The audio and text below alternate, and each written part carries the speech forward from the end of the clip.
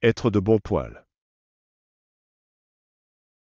L'expression être de bon poil signifie être de bonne humeur ou être disposé à être agréable avec les autres.